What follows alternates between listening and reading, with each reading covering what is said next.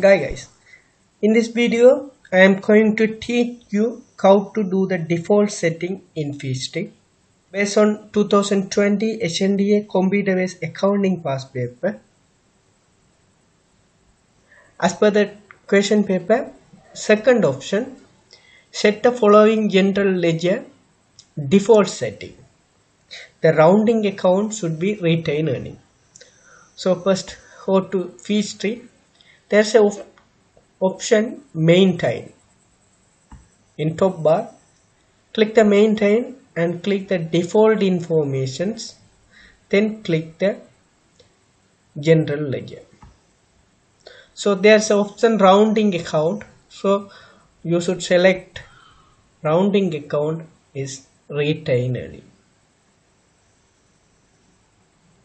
Click the retain earning and click okay.